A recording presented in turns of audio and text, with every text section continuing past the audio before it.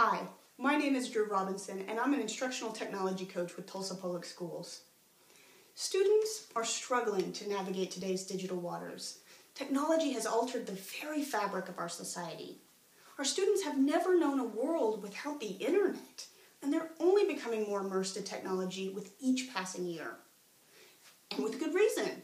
Digital communication is very powerful. Students are expressing themselves in whole new ways. The world is literally at their fingertips. They can chat with kids from around the world, they can create videos seen by millions, but with great power comes great responsibility. Cyberbullying and the reckless use of social media are also on the rise among our students.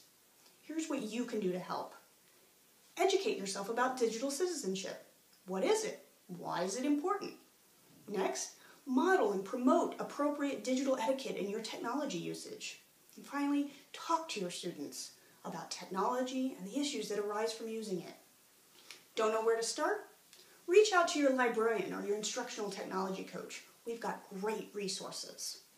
Together, we can help our students be exemplary digital citizens.